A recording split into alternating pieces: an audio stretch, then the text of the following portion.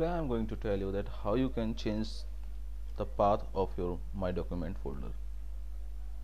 It is necessary because most of the time when we format our computer or by chance our computer crashes then all the documents stored document movies pictures and whatever stored in the my document folder are not accessible or you can say lost so you can and my document folder is very important because every time you install anything and download anything or save any file which is by default goes to the my document folder.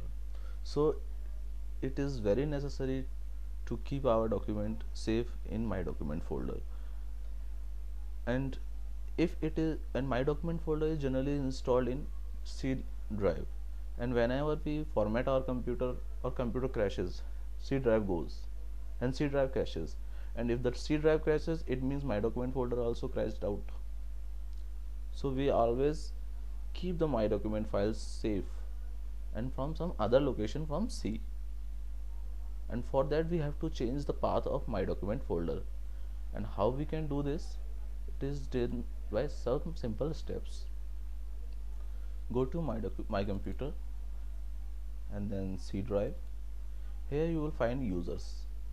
Double click the users and whatever the user you have logged in so click on that just like I logged in by SK user. So double click on that and here you'll find my documents. Right click on the my document properties and locations. Here you will find most of the options but now you have to go in locations where you will find by default this location is C users SK document and documents. So now you have to change the path. Just click on the move and my computer and select the drive where you want to move the content of the my document folder. And every time after this whenever the document save in my document it is by default goes to this location. Okay? Now you will select as I selected um, iDrive.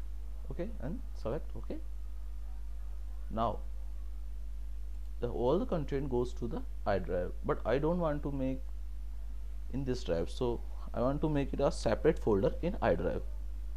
So just click click documents or whatever the name you want to able to learn able to remember. Just put the name and click apply.